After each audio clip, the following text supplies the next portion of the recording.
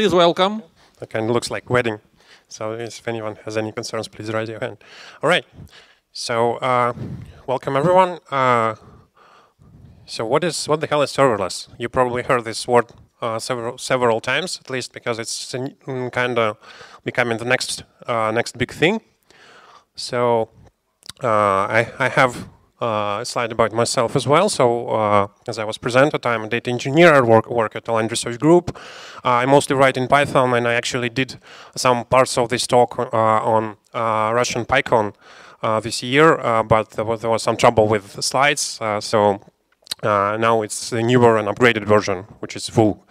also, uh, we organize, uh, so how many of you guys are actually using Python? Could you raise your hand?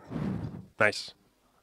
So we, we also have um, uh, a conference, basically a series of meetings right now uh, by, by Data Brand.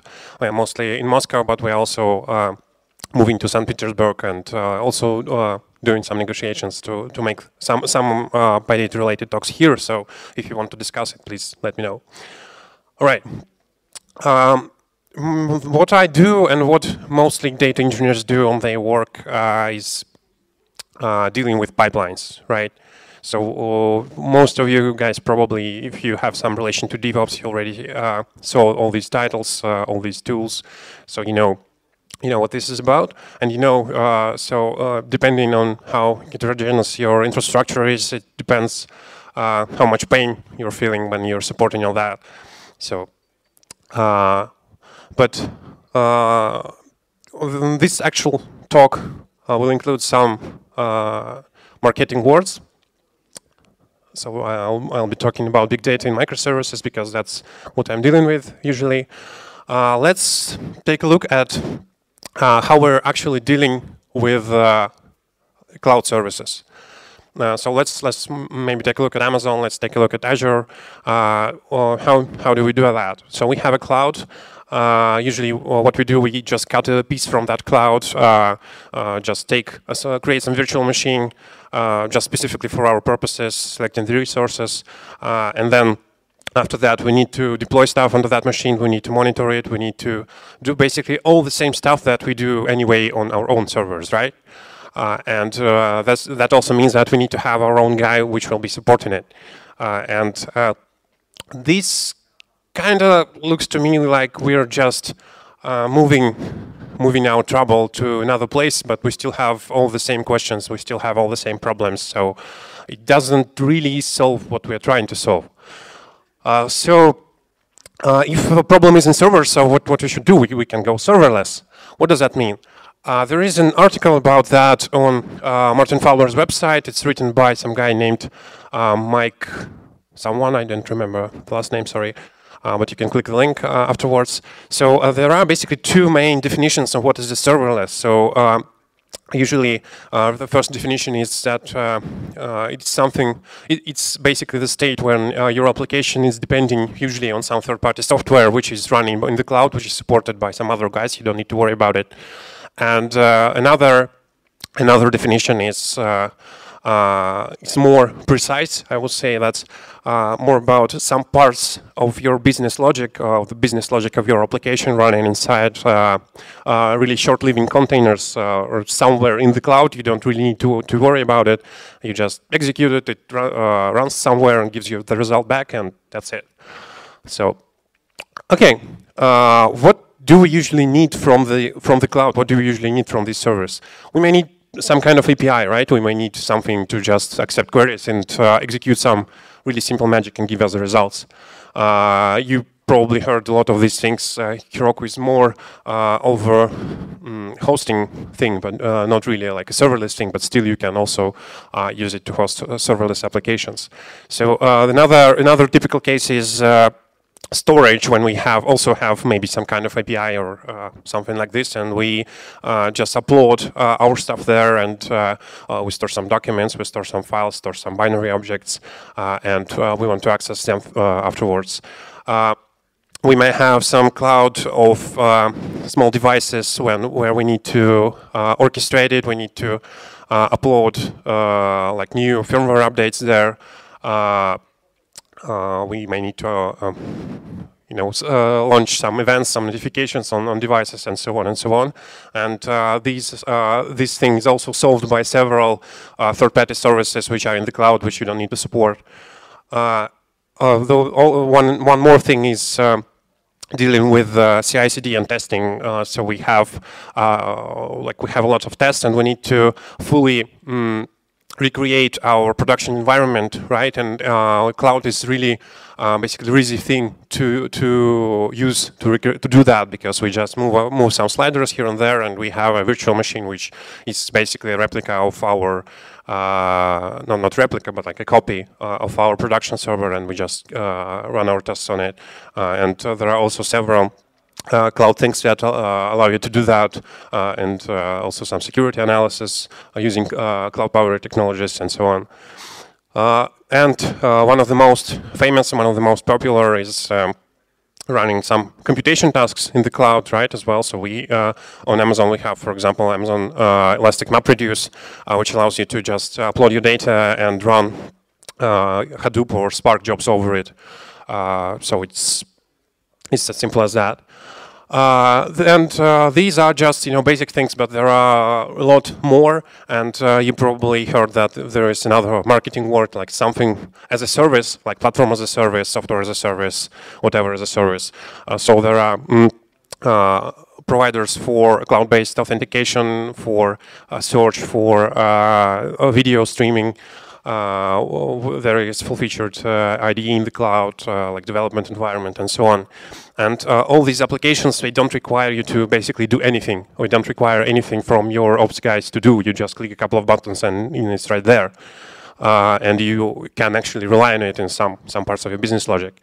But um, there is even uh, cooler thing, uh, which is basically what if we just want to run some logic in the cloud, and that's it. We don't uh, really need to specify that logic, uh, what that logic should do. Uh, we just want to have uh, some way to quickly execute some really small pieces of the code, maybe putting together uh, some parts of our system, and I'll, I'll, I'll come to that. Um, and uh, this is what is that is called, like by another marketing word, is function as a service, FS. So there is Amazon Lambda, there is Azure Functions, there is Google Cloud Functions, and so on. And um, I'll, I'll, mostly be talking about uh, AWS Lambda today because uh, that's one of the most uh, well-developed and one of the uh, most widely used things. Uh, and we will actually make, make an example of it because this presentation is basically a tutorial, so you, you, can use later slides to try and build a demo of that application yourself and see if it fits to what you're trying to solve.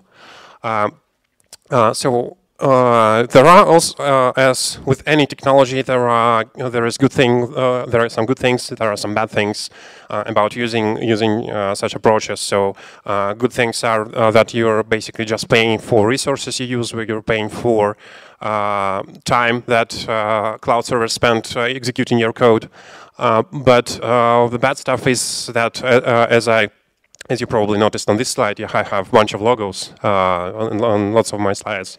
So uh, the thing is you're tying yourself, you're tying your uh, business logic to some particular vendor. Uh, and uh, this means that uh, you just depend on it afterwards. And uh, this is also a decision uh, to make because uh, most engineers, they don't really want to completely depend on uh, in their infrastructure on something which is not controlled by them. And that's also completely understandable.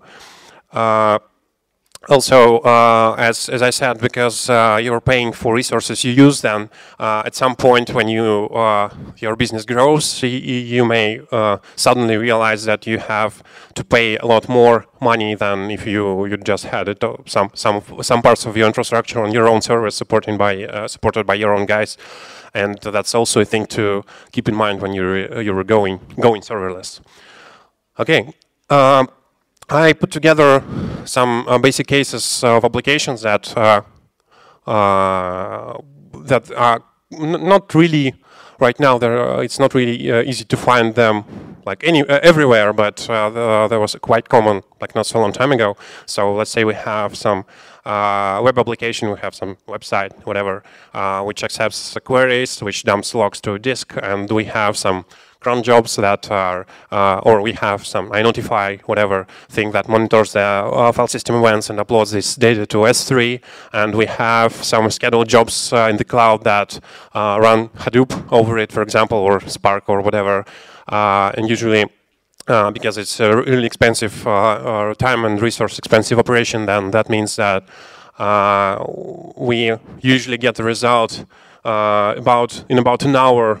Uh, if if everything's good, we get result in about an hour from where we actually saw these logs for the first time.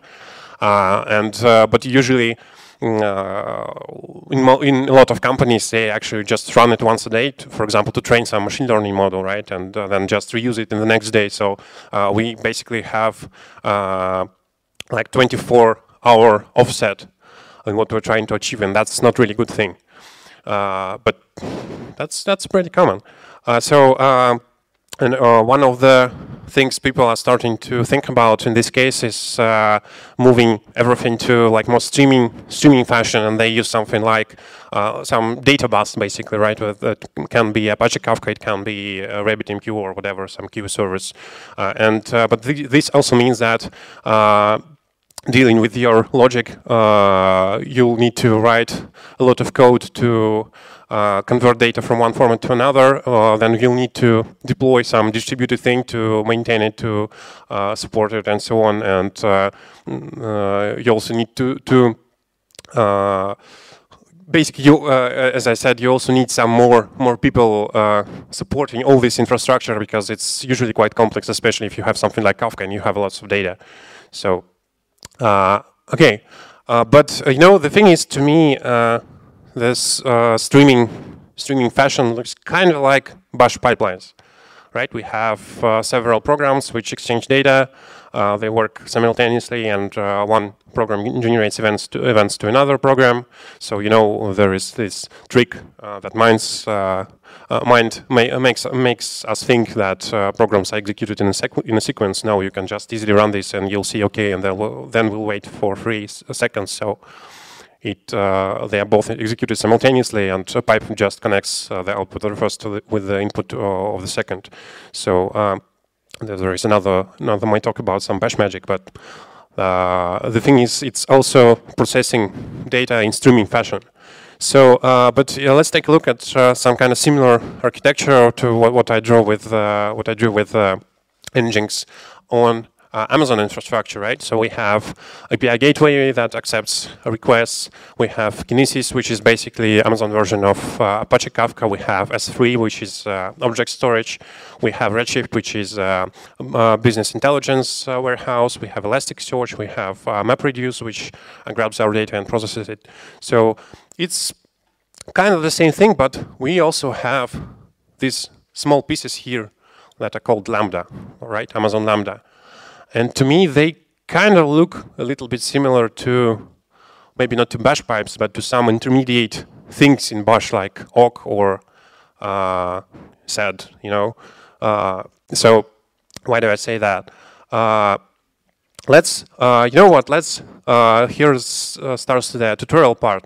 So uh, I'm, not, I'm not saying that you should just, you know, go, go ahead and try it right now, but uh, in Amazon, as always, you can just go to, to the web interface and create your own Lambda, right? You can just go to Amazon Lambda, select language. I prefer Python. I write in Python for six years, so uh, Python is best. And then you see, you actually see what Lambda is in this case. So Lambda, in terms of any code, basically, it's not just Python. It also supports uh, JavaScript. It supports Go, whatever. Uh, it's basically a function that accepts two arguments, uh, event and context. So event, which was generated by some application, and context is basically a constant context, right? And it does the magic and returns some uh, some value, right? It's really easy. It's just just an application that reacts to some event. Uh, and uh, you can go ahead and use command line uh, AWS means to just run it right away uh, through uh, AWS Lambda invoke and execute it and uh, get something in return. So the output is saved in the file and you see it right away. and uh, also, uh, if you did everything correctly and you configured your Lambda function to log into CloudWatch, then you can open the CloudWatch on Amazon and see all the logs from that function that it was execu executed, how much time did it spend executing your code, and so on and so on. Uh, so Amazon is great in this case. Uh, but uh, the thing is, uh, it's actually if you're trying to implement really, really complex infrastructure by hand, it may become really, really hard uh, because uh, you need to not only write write the code, but you also need to uh, pack it to, to, bundle it together with all, all the dependencies to bind it uh, to events. Uh, to and one of the hardest parts in case of Amazon, you need to configure all the security policies to allow your functions to access access things and allow your um, services you use to uh, send uh, results, uh, send events to Lambda functions, and so on and so on. So what, what people usually do in this case? They just go and take some framework, right? Uh, and there turns out there are several frameworks for this purpose, uh, written in different languages. Uh, serverless is in uh, JavaScript, Chalice in Zappa in Python, and Apex is in Go. Uh, and uh, to start, you just need to basically run init or create. Uh, I have examples for both serverless and Apex. Uh, serverless by default creates, uh, you can specify the type and it creates a project for Python and Apex by default specifies it, uh, creates project for JavaScript, but you can just rename it and modify the config file. And a config file is also really simple. So for serverless, you just configure uh, the runtime that will be used in the, in the cloud to execute your code uh, and the handler that it will be calling to. Uh, and also, as you, as you can see, for um, when you're dealing with uh, API, gateway, for example, then you just specify the uh, path, uh, the URL to your application, which will just go and execute your code, and it's really simple. And the same the same goes with uh, goes with Apex. Uh, and the thing is, uh, um, basically any any thing inside Amazon like any any Amazon service. It actually has its own um, Amazon resource uh, identifier, so it's called ARN, uh, resource number or something, uh, and it's just uh, a token that you may use to attach your your code to events to of that that service. Uh, and also when you're executing code in Python that uh, by default it means that uh, there is a module called uh, Boto3 which is Python Python bindings to mm, AWS infrastructure and it's available right there. So when writing your code, you can just import it and it will work at all times. Uh, then, uh, as I said, you need to to do several steps to actually execute your code. Uh, and I wrote some uh, really, really uh, simple examples. So let's uh, go ahead and create two lambdas, one for accepting the things from uh, API uh, and writing them to Kinesis, and one getting things from Kinesis and writing them to S3 in a file. so it's like really simple API, but it kind of you know recreates uh, the pipeline that you might actually have in your business logic, and that can be really helpful. So, as I said, there is not really a lot of code that you need to write. So I just import Boto, I just uh, grab the client for Kinesis, uh, I just specify the name of the stream, which is basically the same as topic in Kafka.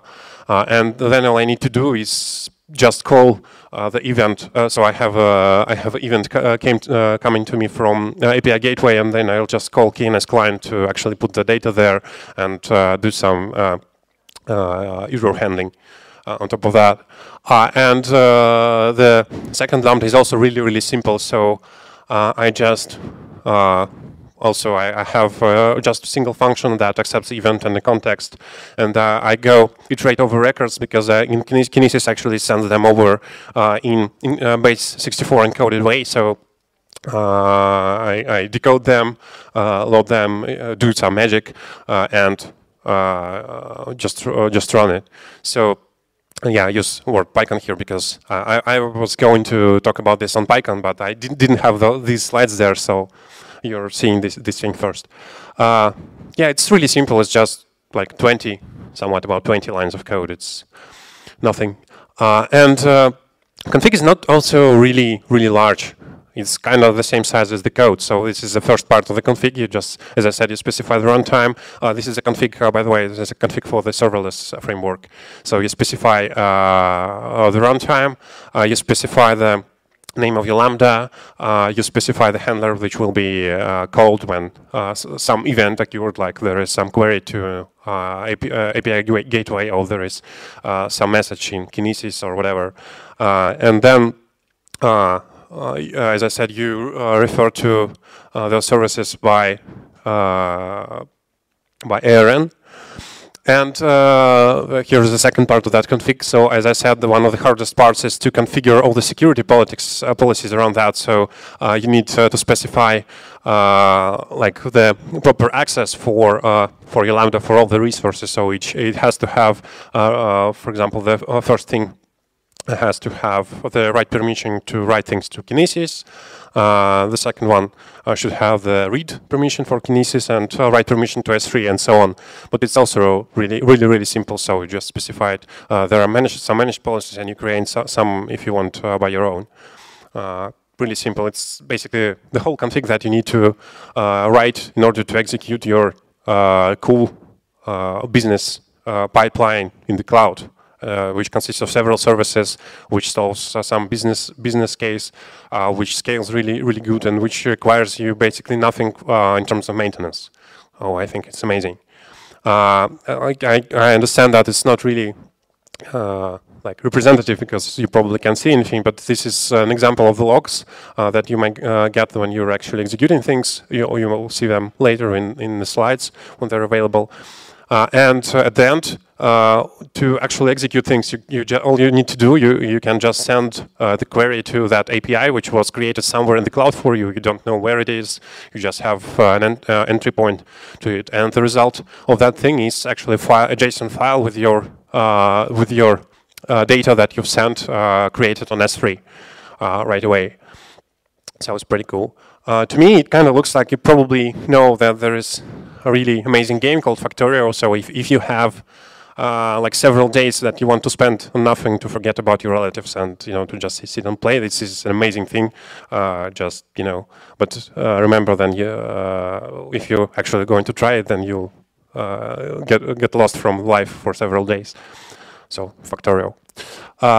And uh, there are also, I mentioned two, two more frameworks. There is Zappa and Chalice, which are basically mm, tools for creating web services and web applications uh, in serverless fashion. So you just write write the code like usual. Zappa is can be used to deploy to actually deploy your any WSGI application. Uh, for example, Django application, you can just go ahead and uh, deploy it in the cloud and it will create uh, entry points in API gateway and it will just work. And Chalice is really, really similar to Flask. So it's basically just Flask, Flask with one more command, deploy uh, things and it will just do the same. It will go and uh, upload and uh, execute things in the cloud for you. Uh, and there is also a really cool thing called PyWren, which is more of a computational framework. So if you have some code which you want to execute on a huge number of nodes, but this code is small and it's uh, like you, you, don't really need to uh, you know buy thousands of servers on Amazon to execute it. You just want to execute it, get the result, and then kill kill anything, and don't pay for for uh, what you've created. So um, it's called it's called PyWren. I believe it's what's created by some guys from MIT, if I'm correct. Uh, you just import it, you just write a function, you just execute it, and that's it. So it's really simple. Uh, underneath it, it creates uh, on serverless uh, because it's serverless. It mm, runs uh, on Amazon Lambda, it creates some containers and uh, executes some code on them, and then uh, they're killed and so on. But to you, it's really simple. Uh, so uh, there are uh, several things to remember. As I said, one of the most challenging things is to actually pack your code together with dependencies. You know, in Python, it's really simple that you can use something like virtualenv, but if your code depends on things that depend on uh, system-wide libraries, right? Then you'll need to pack it all together with your code, and there are some uh, tutorials how to do that. But there is also this uh, really cool project. Uh, it was created by maintainers of Zappa. Uh, they packed a lot of stuff for you, and you can just go ahead and uh, download it and use it. Uh, uh, also, as I mentioned, there are some limitations to what you can do with lambdas. So it's not, uh, they're not meant to, uh, uh, I, I, just repeated, uh, they're not meant to execute some really resource consuming things. They're basically just really, really pieces uh, really, really small pieces of your infrastructure that can replace your ETLs, that can replace your uh, event monitoring system, that can replace a lot of different things that are dealing with infrastructure. So that's why I mentioned DevOps. Uh, and you can as well take a look at uh, Amazon Docs uh, in order to, to check these limits and to check the pricing as well. So um, and uh, one more thing about testing. So, uh, the, as I mentioned, there is this Python uh, library called uh, Boto. So there is Moto, which basically the mock uh, is basically the mock for for Boto. And there is also a Docker Lambda thing that tries really hard to recreate the Amazon environment in a Docker container, and you can use it to try and uh, experiment and execute your serverless applications inside it and see if it works. So yeah, that's it. That's it from me. You can connect connect to me if you have any any further questions. Uh, and and don't forget about PyData. I mentioned it on first slide. So thank you. Any questions? Thanks a lot, Nikolai. Now we have some time for questions, and I think we could proceed in Russian. Итак, вопросы к Николаю у кого-нибудь? Вопросы, вопросы, вопросы. Не вижу леса рук. Коллеги, пьющие чай, вы в очень выгодном положении, вы можете пить чай, слушать доклад и задавать вопросы. Да, можно не только воду, наверное. Есть вопросы? Добрый день. А, есть такой вопрос. А, есть какая-то попытка сравнить... А, понятно, что все эти решения платные в какой-то uh-huh. степени. А есть попытка сравнить косты на содержание своей инфраструктуры и перехода на серверлесс. Скорее всего, там есть пара графиков, где-то пересекающихся в одной точке. С какой-то uh-huh. момент это становится эффективно или, наоборот, неэффективно. Есть попытки просто оценить это? Тут, честно, я, я пытался гуглить, там были какие-то зачатки исследований на эту тему. Я не нашел график, я бы его вставил в презентацию. Но у меня, у меня ощущение, что э, как бы... Э, может быть, у меня это заблуждение, но мне кажется, что это имеет смысл, когда у вас большая компания уже, которая там есть какие-то э, застарелая какая-то инфраструктура, и вам вы хотите там какие-то части этой инфраструктуры выстроить с нуля, и, возможно, в облаке, да, чтобы там на э, это самое не тратить. Тогда вы можете, э, допустим, вместо, скажем, у вас есть на суппорте, э, там на аутсорсе отдел э, сисадминов, который это все поддерживает, вы можете их уволить, там, ну, или перестать с ними сотрудничать, просто на Амазоне написать там несколько скриптов, которые будут делать все то же самое, там, без всяких там cron без, без билд э, скриптов, которые никто никто не знает, как поддерживать. Вот. И э, ну, как бы использовать, и это, возможно, будет более кост-эффективно гораздо. Коллеги? Да, конечно. AWS, он недоступен во многих частях мира. Ну, по я насколько понимаю, на Украине, в России. Как, бы, как вы это решаете? То есть, если это доступно только для американского, скажем, европейского и азиатского рынка, это большое очень ограничение, насколько я понимаю. Ну. Э, я, насколько знаю, все вот эти вот части инфраструктуры, которые я сегодня упоминал, они доступны отовсюду. То есть, э, ну, там можно выбрать регион какой-то, с которым вы находитесь, можно там выбрать, там, не знаю, Европу. Вот я, я экспериментировал, когда это все собирал, я, по-моему, пробовал э, на, сер- на серверах, которые во Франкфурте расположены, у меня все работало из России совершенно спокойно. Там, там повышается, да, там, там есть, есть задержки, но если европейский сервер берете, вот как у нас сайты в Хетснере, например, хостятся, да, в э, Германии, там, в принципе, пинг вполне нормальный, там проблем нет. Хорошо, так и здесь... Понятно. Здесь еще есть ряд стран, в частности, Россия, которые требуют э, нахождения данных пользователей э, внутри страны. Угу. Вот. Э, ну, понятно, в Амазоне, так как сервис не представлен внутри там, Украины, России, ну, еще там список угу. достаточно длинный, это очень сильное ограничение. Вообще вот региональная зависимость AWS, так как мы ее видим постоянно в регионах, то она очень сильно как бы подрывает. Как вы это решаете? Просто используйте ирландский, там, скажем, сервис, да, и там Франкфурт. Ну, или так. Ну, у нас на самом деле как? Данные, которые мы процессим, у нас э, там есть приватные данные, мы стараемся приватные данные просто в публичное облако не загружать никогда вообще. Вот. Но э, очень большое количество данных, с которыми мы работаем, они просто в зашифрованном формате, из которого ничего толком нельзя извлечь, но который при этом, поскольку там идентификатор уникальный, да, его вполне себе можно анализировать нормально. Вот. Поэтому, в принципе, с этим, с этим проблем особых нету. Вот. Ну и плюс еще я подозреваю, что наверняка есть какие-то соглашения там, с тем же Microsoft. То есть, если, ну, если не Amazon, то есть вот Azure Functions, например, да, и у них э, есть договоренность какая-то наверняка на тему того, что там какой-то код запускать на серверах на своих. Вот. Ну и плюс ничего не мешает э, похожую инфраструктуру, в принципе, выстроить на своих собственных серверах или на серверах, которые внутри страны находятся, используя, скажем, тот же Kubernetes, да, про который вот прошлый докладывал. Вот. То есть Kubernetes, он во многом позволяет решать очень похожие задачи. Мы берем контейнер, запускаем в нем код, контейнер дохнет там через, через минуту там сразу и все.